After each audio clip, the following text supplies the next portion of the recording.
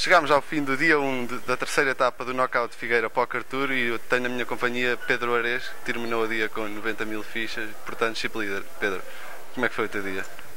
Começou bem, cheguei logo depressa às 22 mil, 23 mais ou menos, depois perdi um pote, mas estive sempre acima das 15. Depois há ali uma mão que eu abro com Rei Dama e flop top 2 e pago-me com Rei 10 e fiquei bem com 36 mais ou menos. Depois há uma mão com o João que eu abro 8 e ele está muito short com 4 mil.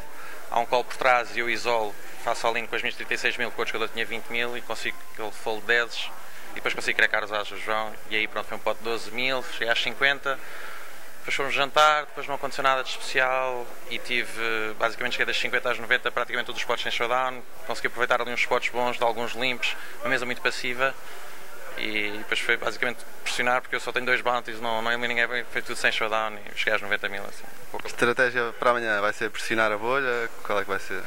Vai continuar, é conforme também da mesa. Eu tive sorte agora na minha mesa, estava muito bem sentado, numa posição muito boa e que deu para realmente pressionar umas stacks mais shorts, jogadores mais inexperientes.